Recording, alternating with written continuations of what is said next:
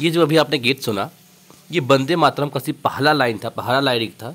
लेकिन जो हमारा वंदे मातरम गीत है, ये इसको वंदे मातरम जनरली बोलते हैं, लेकिन वंदे मातरम मूलतः इसको लिखा था बंकिम चंद चटर्जी ने, जब इसको इन्होंने लिखा था चट्टोपाध्याय ने।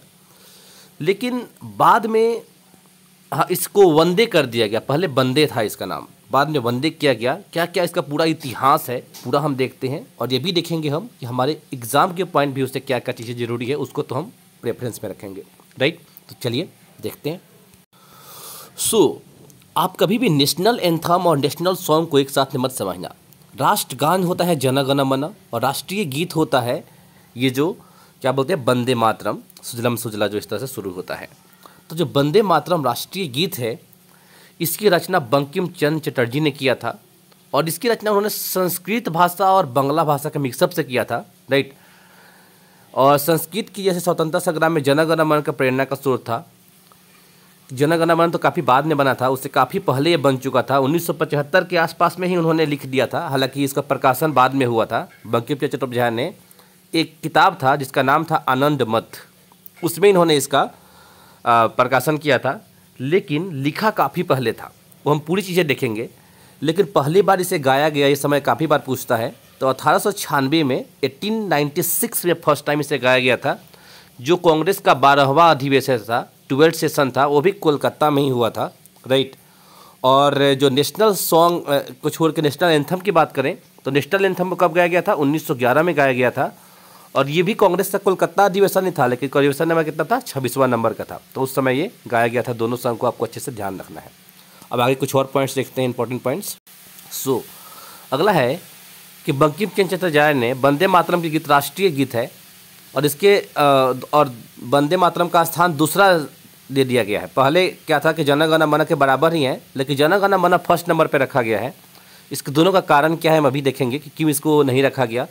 जब देश आज़ाद हुआ ना उस समय जनगण मन से ज़्यादा लोग पक्ष में थे, कई लोग पक्ष में थे कि इसको बना दिया जाए राष्ट्रगान, वंदे मातरम को। लेकिन बाद में इसमें क्या बदलाव हुआ, देखते हैं। देखिए, वंदे मातरम को लेकर आज का इतिहास बेहद ही खास है, क्योंकि आज हालाँकि बीत चुका अट्ठाईस दिसंबर के दिन कोलकाता में क्या हुआ था, अठारह सौ छियानवे में इसको पहली बार गाया गया था। दिन क्या था उस दिन? अट्ठाईस दिसंबर का दिन था, और इक्यानवे का डिवीज़न ने पहली बार इसे गाया गया था। राइट, इसको वंदे मातरम गाया गया।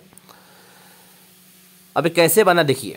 बहुत कम लोग जानते हैं कि वंदे मातरम को पहले राष्ट्रगान बनाने की बात कही जा रही थी, लेकिन फिर इसे राष्ट्रगीत बनाने का फैसला लिया गया, क्योंकि इसकी शुरुआती चार लाइनें देश को समर्पित है।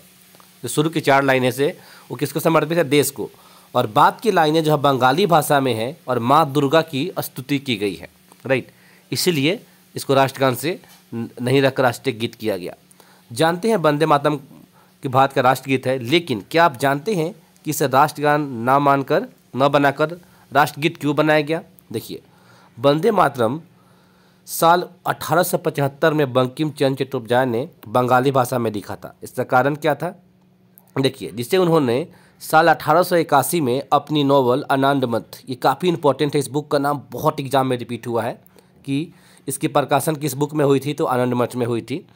राइट जिसके बाद धीरे धीरे इस गीत की लोकप्रियता बढ़ती गई और अंग्रेज़ तो घबरा गए इस गीत की गीत की लोकप्रियता से। उस पर तो वो इस पर प्रतिबंध लगाना चाहते थे, लेकिन बाद में ऐसा नहीं हुआ और कांग्रेस का अधिवेशन में इसे गा दिया गया तो नहीं लगा पाए। कुछ और चीज़ें समझिए कि अठारह सौ छियानवे में कांग्रेस का अधिवेशन में किसने गाया था? रविन्द्रनाथ ठाकुर ने, गुरुदेव रविन्द्रनाथ ठाकुर ने इसे गाया था। और इस, और पाँच साल बाद, यानी उन्नीस सौ एक में कलकत्ता में एक और अधिवेशन में श्री चरणदास ने यह गीत को फिर से गाया। और फिर उसके बाद 1905 में जब बनारस, यूपी में है, यहाँ पे इस अधिवेशन के दौरान एक सरला देवी चौधरानी थी, इन्होंने भी इस गीत को गाया। ठीक है? अब एक और चीज़ यहाँ पे काफ़ी इंपॉर्टेंट चीज़ समझना है यहाँ पे। वंदे और वंदे।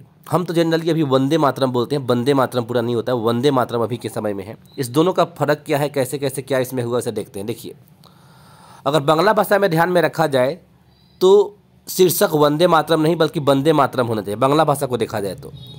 क्योंकि हिंदी और संस्कृत भाषा में वंदे शब्द ही सही है। राइट? इसलिए इसको वंदे रखा गया, हिंदी और संस्कृत के हिसाब से।